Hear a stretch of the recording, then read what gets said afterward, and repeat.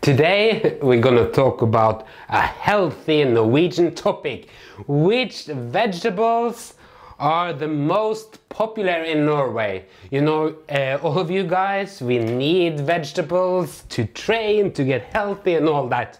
But when it comes to vegetables, uh, Norwegians are kind of conservative and we like the things that we have in Norway. You see a sort some some different things. These are chickpeas, mm, popular around the world, but not in Norway. Lents, no, no, no, no.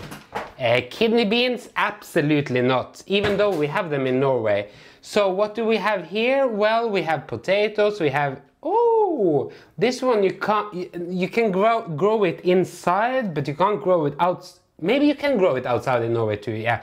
But this is not like the typical Norwegian thing.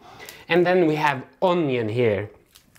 Uh, and at least two of them are on our top three. But um, yeah, there's a story too about one of them getting knocked off the number one spot. Well, when it comes to vegetables, uh, actually, onion, this one here, is number three. It's like it's even though you have maybe only meat or fish, you have some onion in it. So onion, very important. You can grow it in Norway. That's on number three spot. Do you like uh, onion, Mads? Uh, it's a lot of hassle. You have to peel it and so on. Yeah, I know.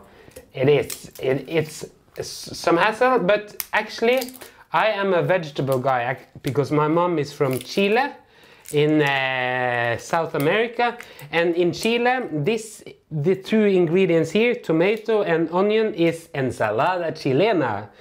But we are in Norway now so we uh, we use this for fish meat everything. Raw mm, it's very strong. Okay so number two spot it's the exotic tomato. You know, we're also a ketchup country, so of course, tomato. All kids in Norway, they the only vegetable they eat is ketchup, made of tomato tomatoes, and grown-ups make it in salads and so on. And we feel uh, uh... exotic. Mm. I love tomatoes actually, since I'm partly Chilean. Mm. We feel a bit mm. like we're living at the Mediterranean. Yeah, it's like the Mediterranean diet or something. But on number one, actually. What's the price? Uh, on the number one spot, the winner, the Oscar. Uh, this is a sad, sad story. Because actually, it used to be potatoes. Oh, and these potatoes, you can grow them all over Norway, in the north, in the south, in the west, in the east, all over Norway. So you would think that this was the most popular. It was before. Yeah, after the war and so on, it was really number one. But it got knocked off. There's a new kid in town.